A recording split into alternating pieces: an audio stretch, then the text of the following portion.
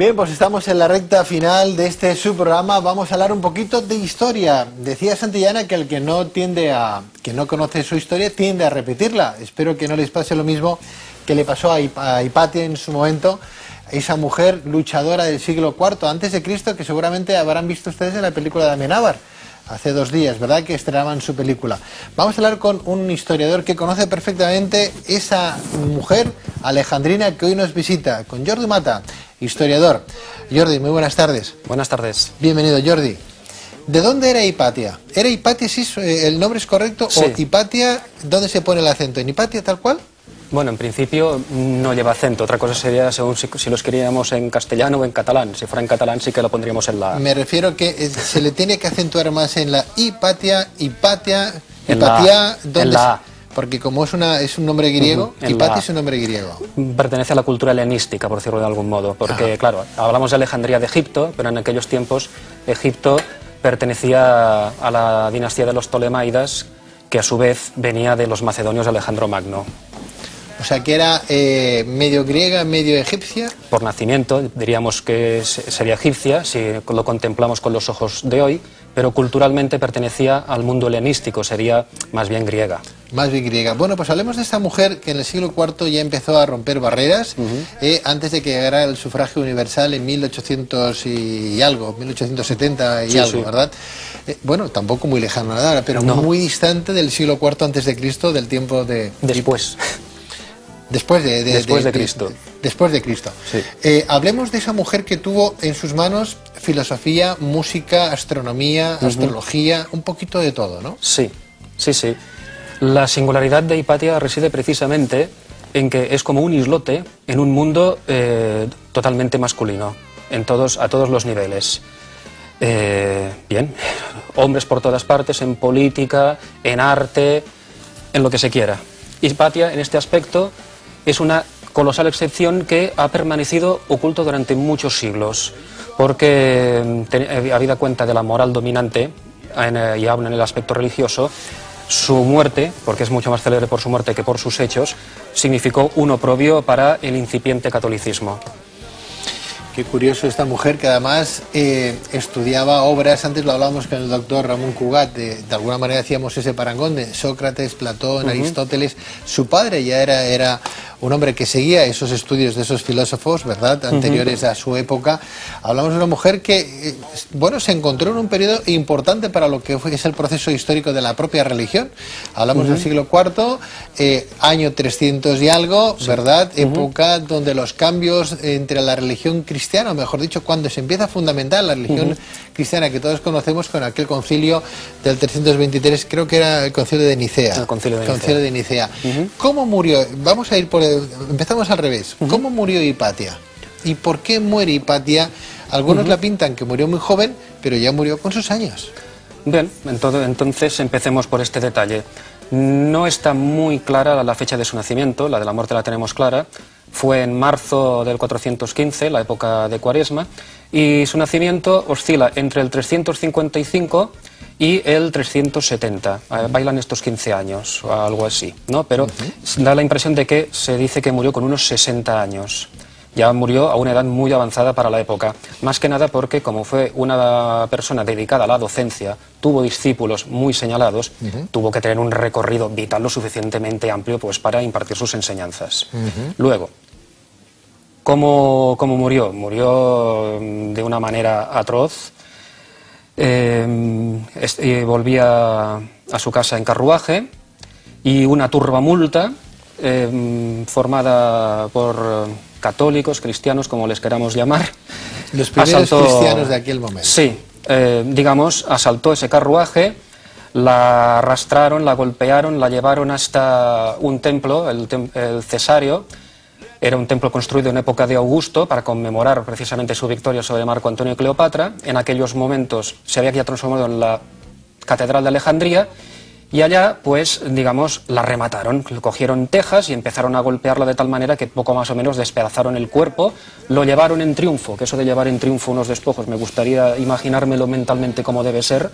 ¿eh? Mm, debe ser como una película gore de aquellos tiempos y al final llevaron esos restos a lo que se llamaba el ciraneo, que por el nombre debía ser como un crematorio, y allí eh, los quemaron. Fin de la historia. Sin más. Sin más. Había un motivo, un motivo político y a la par religioso.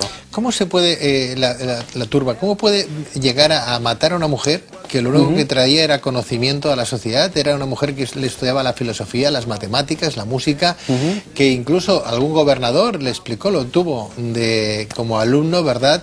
Eh, eh, creó mm, una cuna muy importante, una serie de seguidores dentro de su propia filosofía, que ella tenía una forma, es más, descubrió no solamente que que la Tierra da gira alrededor del Sol, ¿verdad? Que antes se pensaba que era el Sol el que giraba y se movía por ahí, ¿no?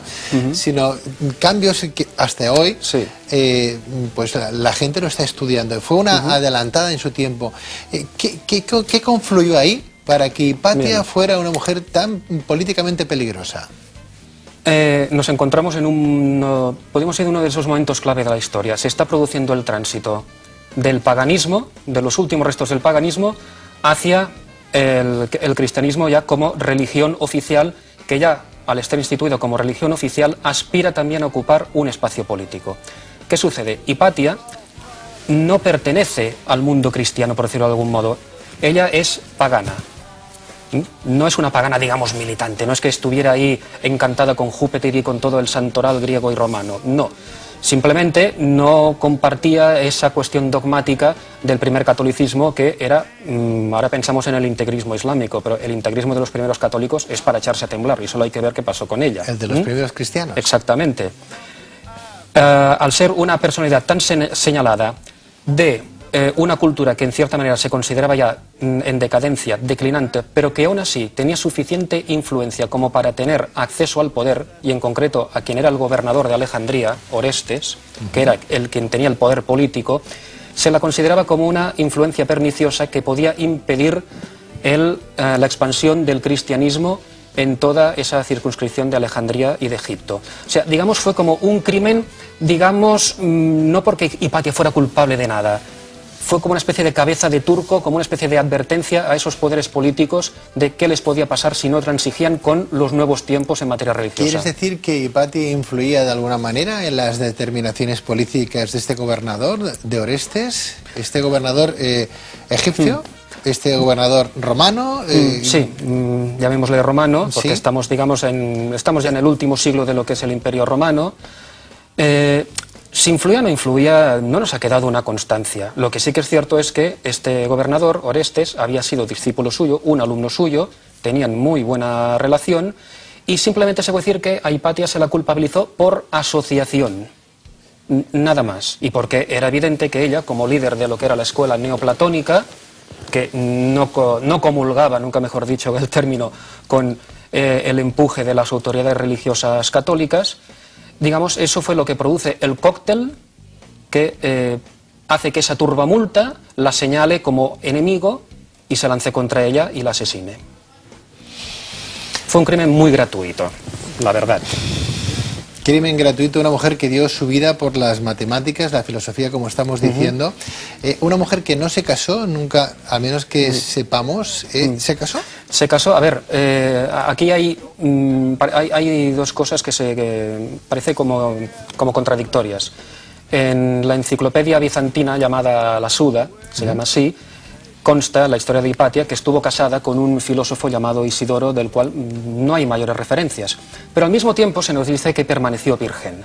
Podríamos decir que era una persona que no sentía ningún apasionamiento en lo que se refiere a lo sexual o a lo sentimental porque toda su fuerza, toda su pasión estaba orientada hacia la enseñanza. O sea, podía estar casada, pero ser perfectamente casta, por llamarlo de alguna manera. Eh, no obstante, eh, nos ha llegado a nosotros esa imagen, distorsionada por lo que veo, de que murió virgen, una mujer que no tuvo ningún tipo de relación sexual con nadie. Es más, no sé si fue con Orestes, que estaba enamorado de ella, posiblemente, no sé si era Orestes o era otro de sus discípulos.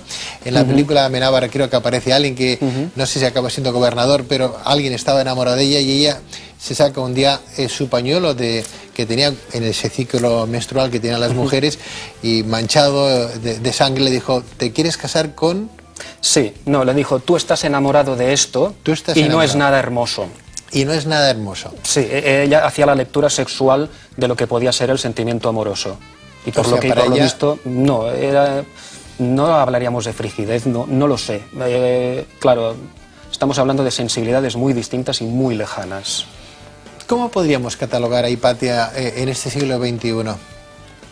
Bueno, Hipatia, aparte de que sería una académica de renombre, supongo que estaría dando la vuelta por muchos platos de televisión un poco al estilo del ínclito y realmente magnífico señor Eduardo Punset, por decirlo así, porque era, era todo un cerebro, un cerebro.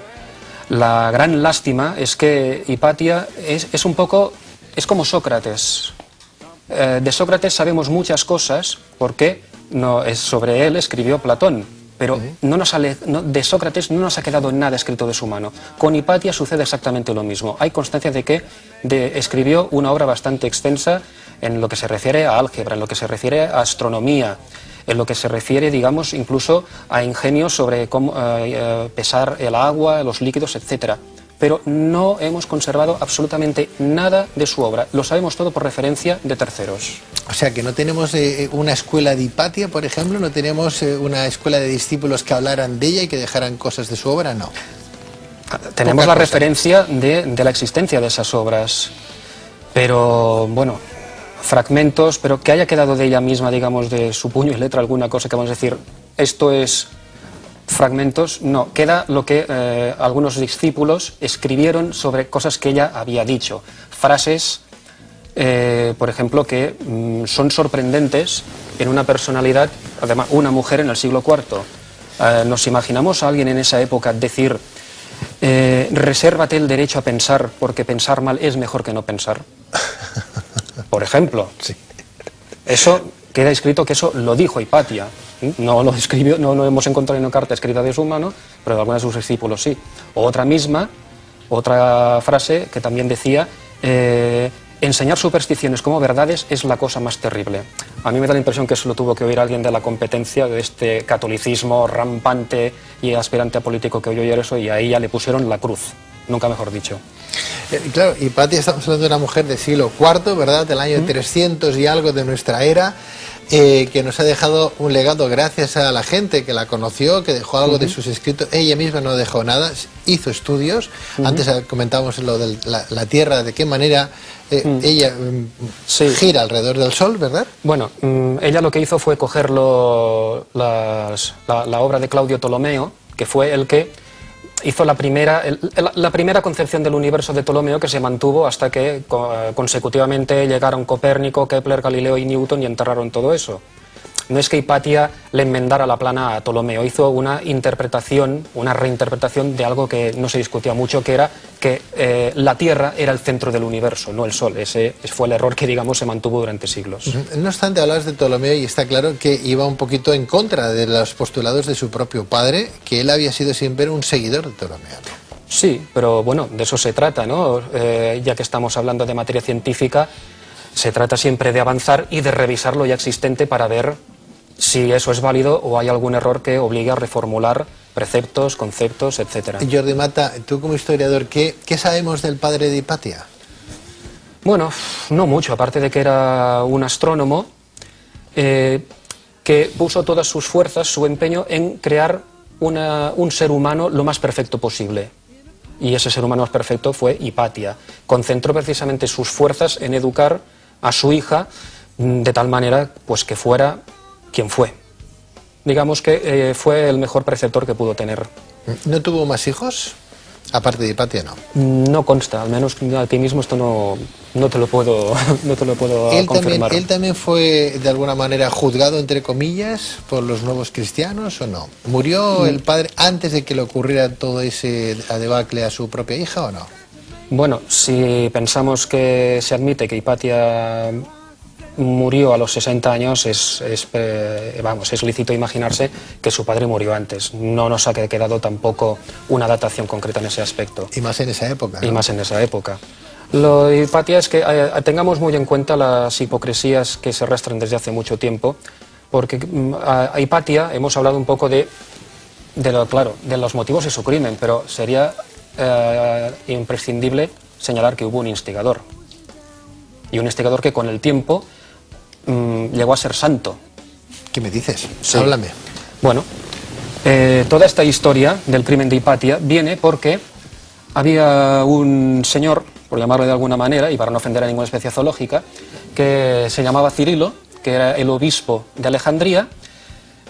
Ante todo pensemos, no, no, tengamos presente de que el catolicismo no era esa doctrina unificada como una piña que hoy, que hoy tenemos tan presente. Nada que ver con lo de Entonces habían diversas escuelas, diversas teorías, diversas sectas que se peleaban entre ellas. Y una de las preponderantes era la que encarnaba este eh, obispo Cirilo de Alejandría, que era el que pretendía imponer el catolicismo en la zona de Egipto como fuera. Para ¿El, ello persiguió... ¿El catolicismo o el cristianismo? Bueno, sí, yo a veces admito que en esto me confundo, pero me parece que nos entendemos todos. El cristianismo. Exactamente. Como en religión oficial. Exacto, porque era religión oficial desde el año 380. ¿Qué ocurre? Cuando el cristianismo se convierte en religión oficial, ¿qué sucede? Todas aquellas excisiones y el paganismo quedaban al margen de la ley, eran ilegales, con lo cual este obispo Cirilo eh, se arrogó la potestad de perseguir a todos aquellos que consideraba fuera de la norma. Ya podían ser judíos, podían ser paganos, podían ser herejes, que podían ser perfectamente cristianos, pero no de esta confesión.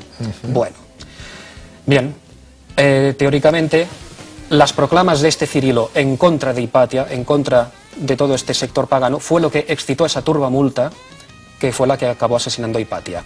Con el tiempo resulta que este tal Cirilo fue santificado y convertido en uno de los doctores de la Iglesia por todo su corpus doctrinal. A veces yo pienso que también, si hablamos de memoria histórica, la Iglesia también debería hacer memoria histórica en su santoral y expurgarlo un poquito de según que indeseables, aunque sean del siglo IV después de Cristo. O sea, de alguna manera Hipatia fue juzgada. Fue juzgada y, digamos, al ser asesinada por una multitud, es la manera más sencilla de que no puedas señalar a un asesino en concreto. Cuando mueres por una muchedumbre, no puedes decir quién es el culpable porque es un poco como lo de Fuente Ovejuna. Lo que pasa es que el inductor quedó muy claro y los contemporáneos de aquella época todos acusaron y señalaron al tal Cirilo. ¿Tú quieres decir entonces que desde el púlpito el obispo Cirilo era la, era la mano que, que mecía la cuna? Y nunca mejor dicho. Todos los contemporáneos de, aquel siglo IV y posteriores no han dudado ni un... Vamos, hay, unas, hay pocas unanimidades a veces en la historia y este es uno de esos casos en que diversas fuentes señalan a Cirilo como el inductor del crimen. Cirilo, Cirilo de Alejandría, el obispo de Alejandría, en la época de Hipatia, siglo IV, el año 300. ¿Dónde nos quedamos? ¿350, 360? No, eh, eh, pensemos que la muerte de Hipatia se produce en el 415. El, Cirilo fue nombrado obispo de Alejandría en el 412. O sea, eh, ya vemos que desde que asume este cargo hasta que se produce la muerte de Hipatia, son tres años en los que Alejandría fue un constante desorden por las persecuciones a los judíos, a herejes, paganos, etc. Y a consecuencia de esto murió Hipatia, que, hay que decir, ah, fue tal el escándalo que hubo en el imperio ah, por este crimen que el nivel de violencia bajó en picado. Digamos que su muerte pacificó bastante los ánimos. Y, se pudo, sí, es una de esas grandes paradojas. Eh, ¿Cómo no? Si, por tener pensamientos a uno lo, lo cuartean, pues uno se calla, ¿no? Sí, al, tal Cirilo, digamos, le pegaron un estirón de orejas lo bastante convincente desde los poderes políticos, pues para que se estuviera al menos un poco, un poco quieto. Eh, y, al menos, y eso se demostró en que no hubo, digamos, más crímenes, al menos no de estos tan significados. Jordi Mata, ¿qué tendrá la historia que nos apasiona? Pues porque supongo que la historia ofrece argumentos que, como se dice vulgarmente, superan a la ficción es que, es que no hay más, es que de verdad eso de que la realidad supera la ficción es una de esas pocas verdades que creo que son bastante indestronables. Jordi, tú como historiador, hemos evolucionado de hace, pues eso, 1500 mm, años, 1600 años, desde el momento de Hipatia. ¿Hemos evolucionado el ser humano o sigue siendo tan transgresor, por ejemplo, como en esa época, salvando las distancias? Bueno, mm, salvando las distancias, desde luego. Eh, lo que ocurre es que ahora la transgresión al haberse casi convertido como en una moda, se ha convertido en algo inofensivo. Entonces ser transgresor, ya hemos visto, se pagaba con la vida. Esa quizás es la diferencia. La transgresión ahora la hemos convertido casi como una especie de pasatiempo y como la transgresión casi casi es como un espectáculo también que pasa por las cámaras, ya apenas nos sorprende nada. Jordi Mata, historiador, gracias por hablarnos de Hipatia y por estar esta tarde en este, tu tiempo televisivo. Gracias a vosotros. Gracias, Jordi. Con Jordi Mata, también nosotros nos vamos y les invitamos a que estén nuevamente mañana a partir de las seis y media aquí con nosotros, de seis y media a ocho, de lunes a viernes. Estamos en estas sus tardes, las tardes de Pedro Rivas. Sean felices. Hasta mañana. Adiós.